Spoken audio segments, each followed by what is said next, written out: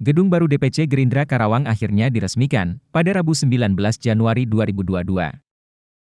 Gedung megah dua lantai itu berlokasi Dusun Lubang Sari, Kelurahan Karangwetan, Kecamatan Karawang Timur. Peresmian gedung DPC Gerindra Karawang dihadiri Wakil Ketua Umum DPP Gerindra sekaligus anggota DPR RI, Putih Sari, anggota DPR RI dari fraksi Gerindra, Obon Tabroni, Gina Fadlia Suara, anggota DPRD Provinsi dan Ketua DPRD Kabupaten Bekasi, Ben Holik Kodratullah giat lagi ke depannya membesarkan partai sehingga bisa lebih mudah menghantarkan beliau nantinya. Terkait sekber Jokowi Prabowo itu gimana Bu? Ya itu kan aspirasi saya kira ya aspirasi dari ya kader lah saya mungkin kader dari partai ataupun juga uh, aspirasi dari masyarakat sendiri kelompok-kelompok tertentu ya saya kira sah-sah saja kalau orang mau membuat uh, apa namanya sekretariat bersama komunitas ataupun apa uh, namanya ya saya kira uh, yaitu bagian daripada semangat untuk bisa menemukan nantinya uh, pemimpin yang ideal untuk memimpin bangsa ke depan. Salam sejahtera bagi kita semuanya.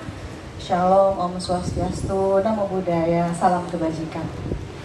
Alhamdulillah, Hirobil Alamin, Wassalatu wassalamu ala saya partai. Ada PPIR hadir, Pak Ketua PPIR Jawa Barat, Bapak Raja Murni, yang saya hormati juga uh, ya semua Pak Andang Sodikin selaku sekretaris dan semua yang hadir, lalu juga rekan-rekan anggota DPRD Gerindra Kabupaten Karawang dan yang hadir juga Ketua DPC Gerindra Kabupaten Purwakarta sekaligus yang saya hormati tentunya eh, DPC Gerindra Kabupaten Karawang ramai mendeklarasikan untuk Pak Prabowo menjadi presiden. Lantas bagi kita sendiri gimana?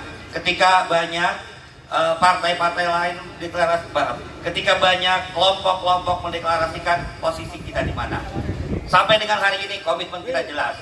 Kita berharap di 2024 Pak Prabowo menjadi presiden dan harus kita dukung bersama.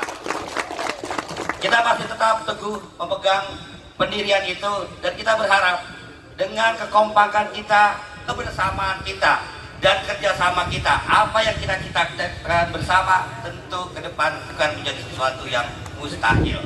Apalagi tren hari-hari ini di beberapa media di beberapa lembaga survei selalu menempatkan partai Gerindra adalah partai yang nomor 2 antara 10, 11, 12 masih ada rentang jarak bagi kita untuk survei-survei kita selalu nomor dua, tapi kita yakinkan kepada kita semua bahwa sangat mungkin kita menjadi partai nomor satu.